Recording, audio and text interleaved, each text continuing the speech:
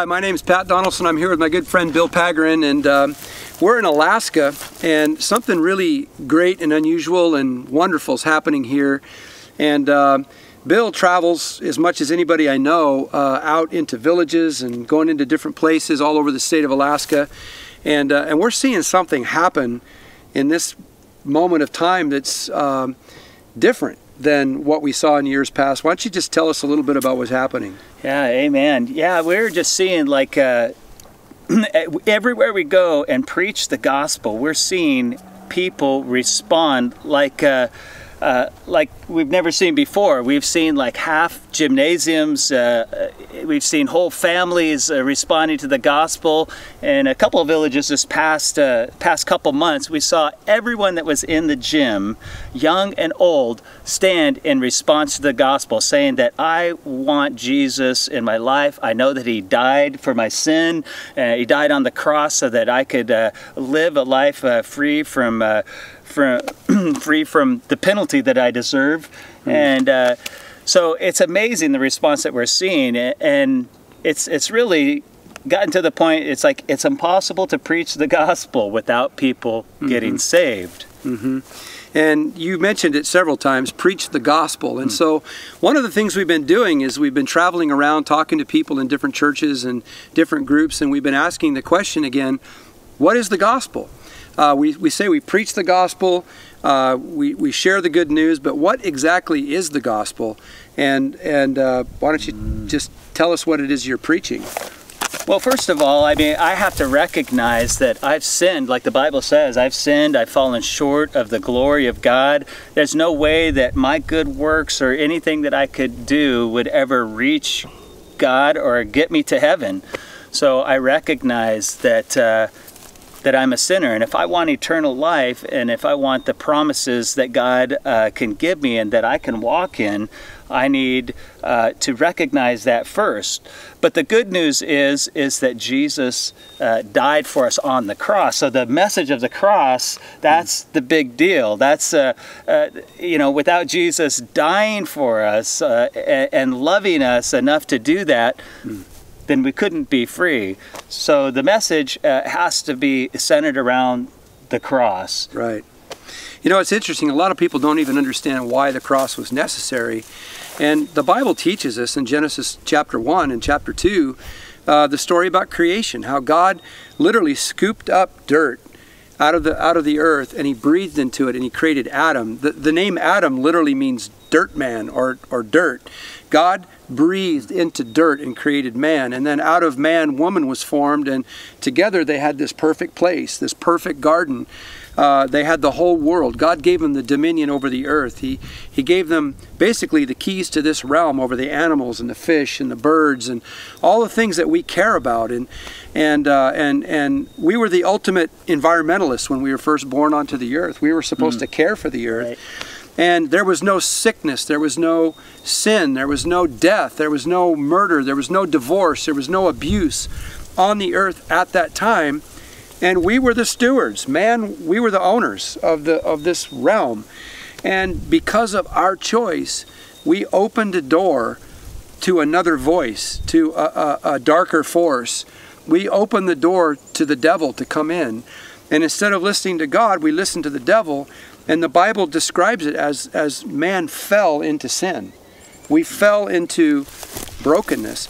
And it's at that time when sin entered the world. That's when murder entered the world. That's when bloodshed entered the world. That's where racism and hatred and divorce and abuse and all that stuff entered the world when man, the keeper of the, of the kingdom, the one with the keys, we let him in. So people say, well, if God's so loving, why was there murder on the earth?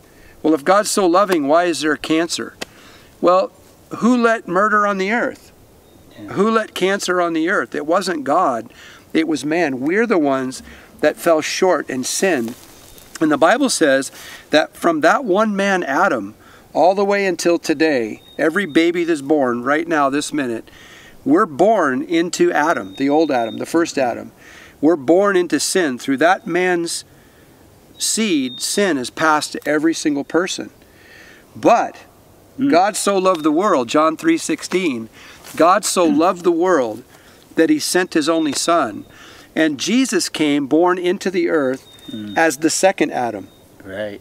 He was born not of the seed of man, but he was conceived in his mother's womb through the Holy Spirit. So he didn't contain the seed that we all suffer with. He was planet Earth's second opportunity to get what the first Adam lost. And it says he was tempted in every way, Mm-hmm. just like us, yet he remained without sin.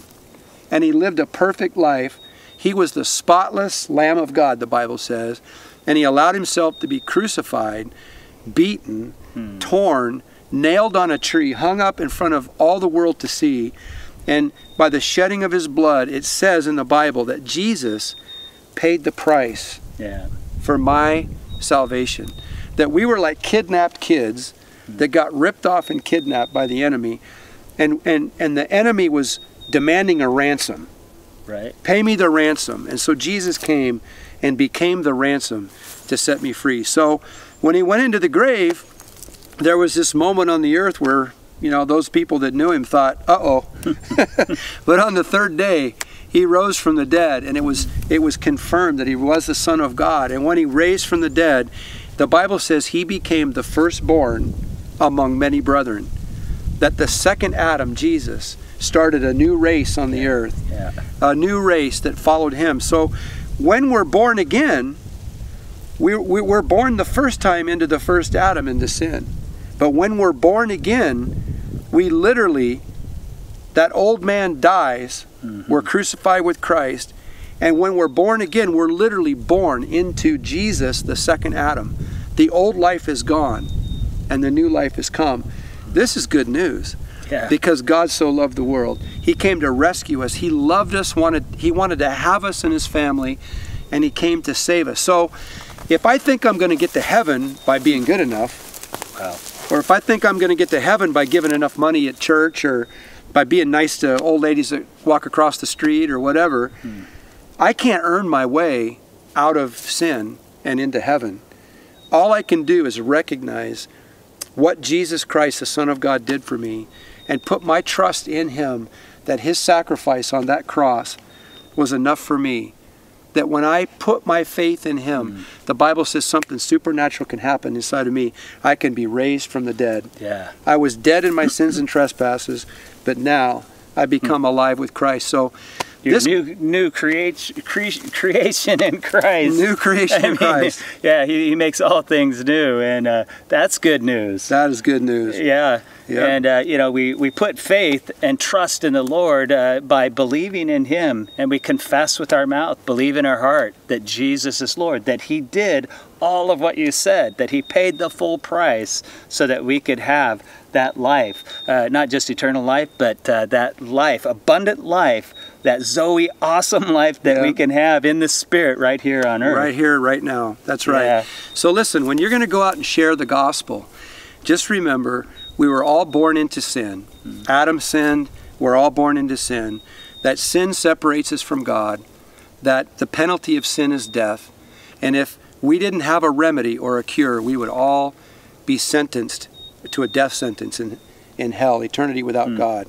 But God loved mankind enough that He sent His Son, who lived a sinless life and died on the cross. He was raised from the dead, Amen. Yeah. and He's the Lord today. And He wants to be the Lord of your life, and He wants to be the Lord of all of your your moms and dads and cousins and aunts and uncles and brothers and sisters. Hmm. and He wants to save the whole world. He, his desire is that nobody would be left out of this. That's right. And so we're, we just want you to know the good news.